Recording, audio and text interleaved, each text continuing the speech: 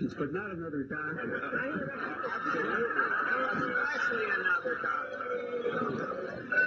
Uh, I think, uh, but, but let's get, uh, he does make a point that uh, we should also say Sabin is live and uh, live vaccine and Salk is, uh, is inactive. is Inactive, inactive, as we say in the laboratory. All right. Uh, how many was it, uh, they asked?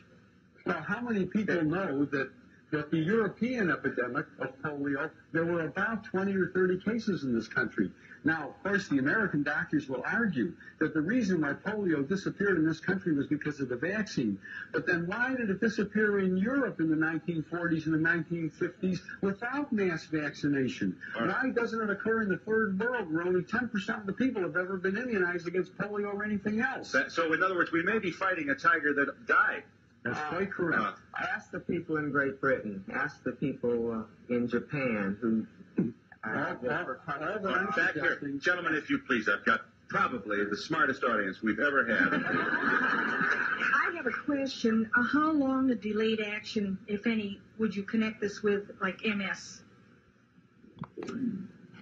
Is MS a possibility? Would multiple sclerosis be one of the uh, possible As, results? as a matter of fact, there's a new publication that just came out from John Hoffman, who's a close associate of Tony Morris's, that gives the references linking MS in later life to the early introduction of live virus vaccines like measles and like some of the others that are live viruses. Now, at the present time, I would, I- I would- I would, at the present time, I would recommend that anybody who has MS or amyotrophic lateral sclerosis or any of those degenerative neurologic conditions of later life carefully review their vaccine histories. I would also like to comment to that because in connection with my case, I've been doing some research. Let me tell him once again, uh, Ms. Gundy, but you're a Guillain-Barré victim, uh, Oh, contracted following the uh, following your receipt of the uh, swine flu vaccination. Yes, and I, I am in the process of writing a book about my experience, and in the process, I've done considerable research.